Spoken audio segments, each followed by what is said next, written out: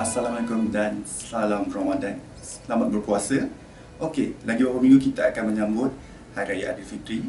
Mungkin di sini masih mencari pakaian apa yang sesuai dipakai pada hari raya nanti. Okey, di sini saya nak sharekan anda semua 5 tips untuk memilih pakaian baju busana di hari raya. Tips yang pertama, saya nasihatkan anda semua perlu ada tape measurement ataupun tape pengukur. Ini kerana adalah anda akan menggunakan bila melihat carta saiz yang disediakan oleh seller. Dan ini anda perlu mengukur bahu, dada dan juga pinggang anda dan anda juga perlu melihat pada ukuran yang selalu standard disediakan iaitu S, M, L dan XL. Okey, poin yang kedua adalah fabric ataupun kain. Yang paling penting sekali adalah kerana faktor cuaca di Malaysia ini. Okey, contoh kain yang sesuai adalah cotton, mungkin polyester dan sebagainya. Fabric ini sebenarnya memainkan peranan penting untuk keselesaan pemakai. Dengan cuaca Malaysia yang panas ini, elakkan memakai pakaian yang tidak serap peluh dan elakkan kain yang 100% adalah polyester. Apabila kain yang tidak serap peluh ini akan membuatkan ketidakselesaan pada si pemakai.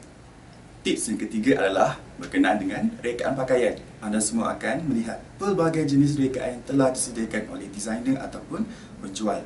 Dan paling penting sekali adalah anda perlu mengukur baju di badan sendiri iaitu memikirkan tentang keselesaan anda apabila memakai dan juga bentuk badan anda. Tips keempat adalah pemilihan warna pakaian. Amatlah penting untuk anda sendiri menghubungi para penjual untuk mengetahui kod warna yang sebenar supaya anda tidak menyesal di kemudian hari. Tips yang terakhir adalah perincian pada rekaan pakaian. Sama ada pakaian baju kurung bagi wanita dan juga baju Melayu bagi lelaki, masing-masing ada keistimewaan dalam setiap rekaan. Pilihlah kesedaran dalam perincian. Jangan terlalu syarat dengan manik ataupun labuci bagi wanita dan juga bagi lelaki kurangkan untuk memilih pakaian baju Melayu yang telah ditransformasikan kepada rekaan futuristik. Fikirkan praktikal baju itu dipakai kerana memudahkan anda untuk bergerak. Jangan cuba untuk bereksperimentasi dalam rekaan fashion pada hari raya.